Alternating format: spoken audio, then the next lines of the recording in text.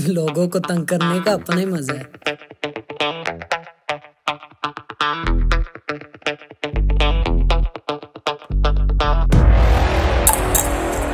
खामोश समंदर की गहराई का मज़ाक नहीं उड़ाते।